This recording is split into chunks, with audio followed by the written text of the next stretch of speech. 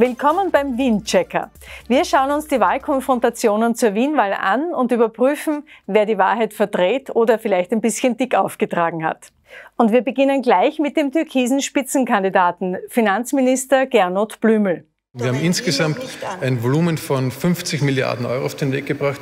Den größten Brocken dieses 50 Milliarden Pakets der türkis-grünen Bundesregierung macht die Corona-Soforthilfe aus, nämlich insgesamt 15 Milliarden Euro.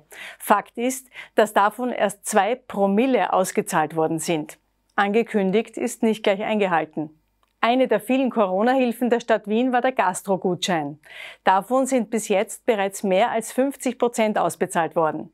Als nächstes überprüfen wir eine Behauptung von Heinz-Christian Strache zum Thema Pflege. Da gibt es ein Versäumnis auch der Stadt Wien, dass zu wenig Ausbildungsplätze für Pflegekräfte seit Jahren zur Verfügung gestellt werden. Fakt ist, dass die Stadt Wien schon jetzt laufend die Anzahl der Ausbildungsplätze in der Pflege aufstockt.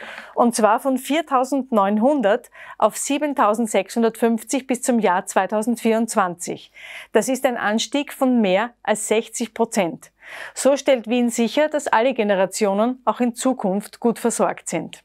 Und abschließend sehen wir uns eine Aussage von NEOS-Kandidat Christoph Wiederkehr an.